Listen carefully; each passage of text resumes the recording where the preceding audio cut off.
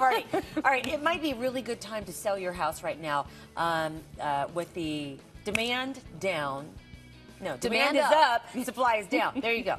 but the point of this story is if you only have a little bit of money to try to fix it up and get it ready for the market, what do you do first? The most effective thing you can do, Jennifer Westhoven has that. All right, so we're going to send it off to my realtor friend. Take it away, Robin. The one thing dispenser, the other Robin.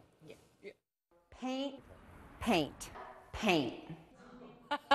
That's Robin Which you Elliott. can do yourself on the cheap. You can. This house that, that we were showing here, it started out with red walls, dark ceilings. You can probably imagine how closed in it Kind of like a feel then. cave-like feeling. Yeah, and that's something, you know, a lot of people make these personal choices, so it's hard to sort of overwrite yourself, but you really want from the minute the people walk in the door for them to be able to project, to see themselves in your home, and to really need neutrals, almost like a blank. Um, you know, something to paint on. Think about it. you need a blank piece of paper to start painting. Canvas, thank you. So you can do it yourself. Robin is an advocate of this.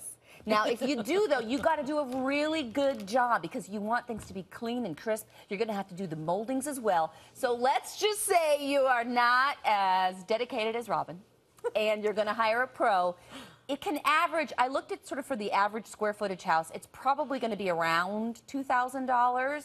I mean, this is something, you're talking about a $200,000 bid possibly or more for your home, so it may be worth it. But either way, you know, they talk a lot about paint is number one, and of course, that's part of decluttering. Mm-hmm. The other thing that's so critical, your photo these days, right? I mean, it's almost like Match.com. The way people look at homes, they don't go and look, they see the pictures first. You've got a second to grab their attention, mm-hmm. get the emotion going. We're going to talk about how to make that picture sing tomorrow, the one tip you need to know. Um, yeah, exactly. And um, I think too that you'll you'll want to make sure that you, you're just not showing the outside. People want to just give me a glimpse of the inside. If you're not going to show every room, I do every room. Like, you know, it's like you take a house tour without having to go.